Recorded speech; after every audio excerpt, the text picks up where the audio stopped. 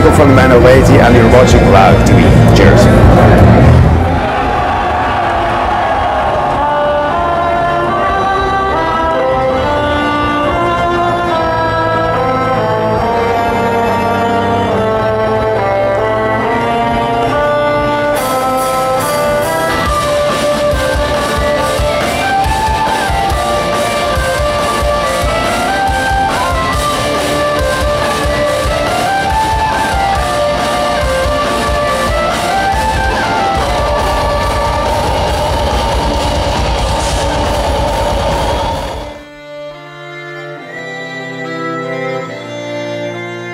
Yeah, but then again, that's something that happens more than once, you know. It's not only about Celtic. I think this is something that happens now and then, you know. But yeah, so what? No. I mean, I mean, the, my lyrics are, are always just on history. I don't care that much if it's a political issue today or not.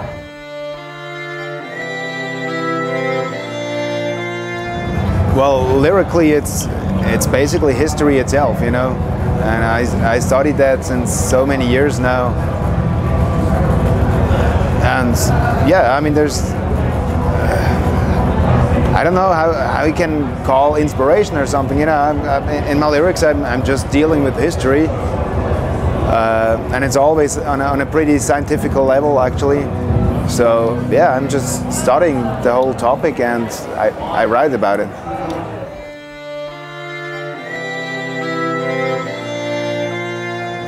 The only thing is uh, that um, they they refuse to write anything spiritual down, you know. And, and why that is actually that has been a, a, question in science for many many years, for a long time, and it's I think in a in the last century. Uh, one scientist, actually a, a French scientist, uh, Charles, um, Georges Dumézil was his name, uh, he succeeded to prove or to yeah to prove why they didn't write spiritual things down. And, and he worked with uh, uh, how do you say comparisons to other Indo-Germanic cultures for example those of the Brahms. And uh, yeah he, he succeeded to prove that it was a, a druidical teaching that they actually forbid to to write spiritual things down for for a religious belief actually. They believe that you have uh, you know, the, those things, those important things of, you know, the stories of how your people came to be and the knowledge about your gods and everything, they, they believe that this is something you should know, you should have in your heart, not just in a book where you can look it up. That's the reason why they didn't write down spiritual things. Um, but anything else, you know, like administrational stuff or geographical directions or whatever, you know, uh, uh, uh, how do you say, things regarding laws and, and all that, they, they did write down.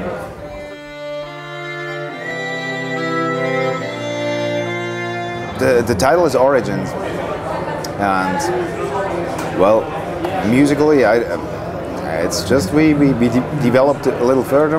I think that's natural for a band, I guess.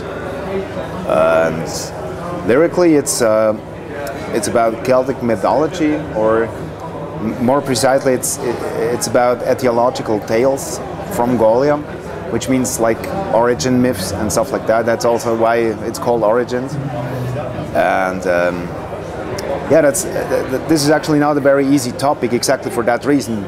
You know, the Druids they didn't write those legends down. Uh, so today we actually don't know that much about it. All we know, uh, we actually do know from ancient literary testimonies, you know, from from historians that lived two to three thousand years ago. Mostly they were Greek or Roman, and yeah, so it was it was a, a lot of scientific work actually. It's, it's in fact this is our, our most how do you say uh, work work extensive album so far. We, we, we never worked so much and, and so scientifical for the lyrical concept of an album. And I've, I've been working together with uh, around three different uh, universities actually for that. Which ones? Uh, Cambridge, uh, Zurich, and uh, uh, Vienna in Austria. And yeah, that's more or less what the album is about.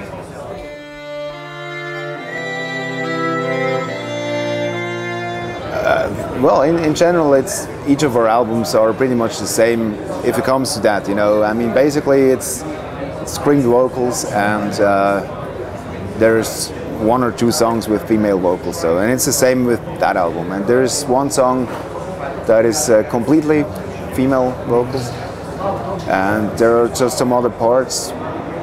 There's one song, for example, uh, where how do you say, where we switch all the time. Anyway, at one sentence Anna's singing, and one sentence I'm screaming, and so like that. Yeah, Okay. and I did some clean vocals for the first time too.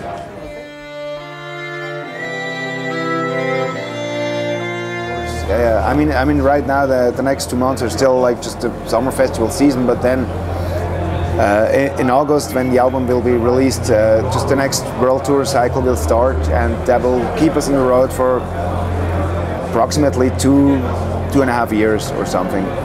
We'll go like around the globe two times. Yeah, within the next two, two and a half years. The new challenges for you to, I don't know, new We will see. territories.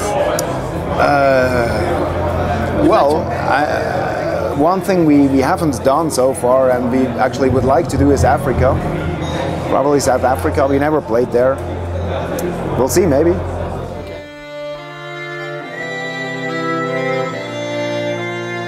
Yeah, yeah, it's not that easy sometimes.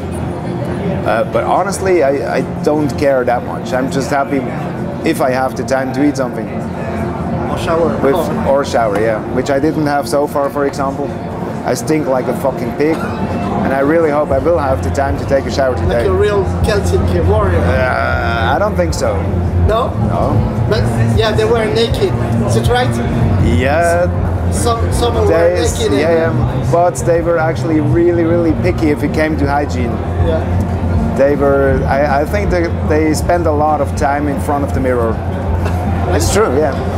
They, you know, one, one scientific excavation, they even discovered uh, a, a hair gel, like what you're having. A fucking Celtic hair gel. Uh, and it, it must have been something quite expensive because they uh, they managed to, to name the ingredients of it. And for example, there was one grain in it that is only growing in Africa. So it, it must have been some kind of an import good or something. Okay. Yeah, but hygiene, hygiene was very important to the Celts.